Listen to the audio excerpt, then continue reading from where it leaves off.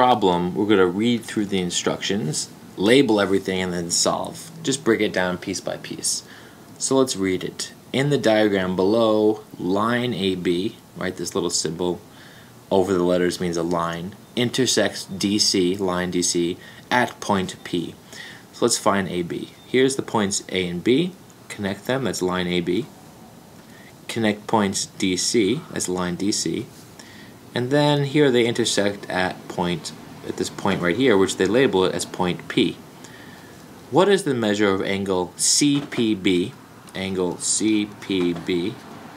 What does that measure in the figure? So to find that angle, just look at the three letters CPB. Here's C, here's P, and there's B. So that forms this angle. And that is in fact a vertical angle to this one.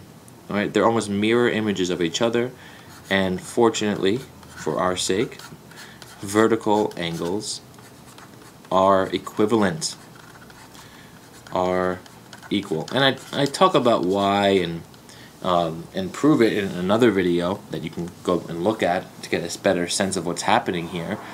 But um, and it's 100 degrees, right? They're equal. But basically, again, they're just mirror angles in a way. Like in other words, they reflect off of each other because these two lines are meeting at this point, and the the vertical angles. So, for example, these two angles are also equal. The angles that are across from each other, and that makes sense because if you look if you look at this diagram, these opposite angles have to be reflections of each other. They have to be equal, and we call those reflections vertical angles. All right. So I hope that helped.